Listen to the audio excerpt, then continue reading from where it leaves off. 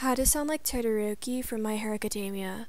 First, you just kind of have to think of these soft boy vibes and kind of speak calmly, but when he's yelling, he definitely sounds like Bakugo, kind of like this. My name is not Five Weenies. I'm Shoto from UA and I want to be a hero.